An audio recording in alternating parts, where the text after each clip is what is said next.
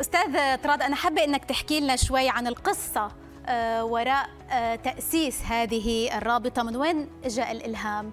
وكيف بدأت؟ وكيف جمعت الناس حولك حتى قدرت تأسس هذه الرابطة الفريدة من نوعها؟ هي الفكرة بدأت خلال جائحة كورونا.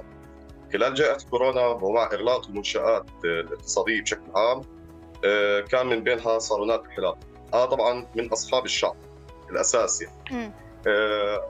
قررت أحلق على الصفر ونشرت صورة لإلي على حسابي الشخصي على الفيسبوك. بهذيك الفترة كان طبعا في عدة آه، آراء بالتعليقات إنه أعطونا مجال وافتحوا لنا صالونات الإحلاق.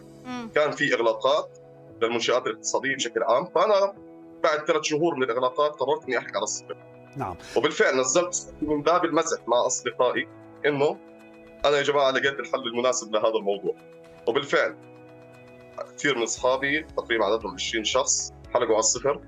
آه، صرت أنزل صورهم على حسابي إنه فلان الفلاني انضم لمجموعتنا.